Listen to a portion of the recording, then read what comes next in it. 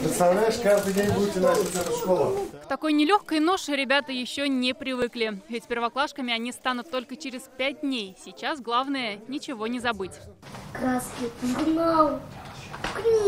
ничего себе. Маленькой Софии уже не терпится пойти в школу и поделиться знаниями с другими. А их у нее очень много. Меня учили родители много чему на свете. Даже букварь задавали читать и цифры считать.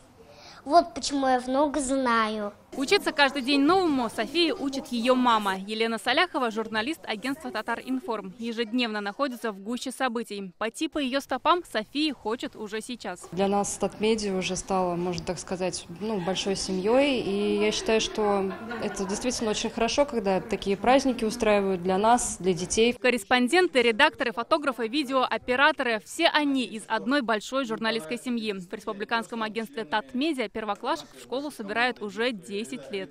Есть планы, конечно, дальше взаимодействовать с детьми, чтобы они э, не только видели, как родители с утра встают, вечером приходят. Дома обсуждение места работы родителей стало именно семейным делом. И чтобы им интересно было учиться и понимать, куда они дальше хотят пойти. Может быть, кто-то выберет профессию журналиста.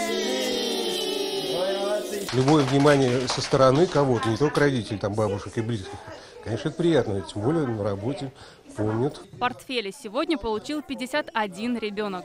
На крахмалин фартук можно сесть за парту, на фартуке оборки, а на платье складки. Где бы взять пятерки, чтоб все было в порядке? Наталья Мизна, Ильшат Мухаметов, ТНВ «Казань». Наша рука помощи вашему бизнесу. Антикризисные предложения. Телефон 843 5 705 100. Көтөлмәгән кунак көттөрөп кенә интернет челтәрләренә дә килеп җитте.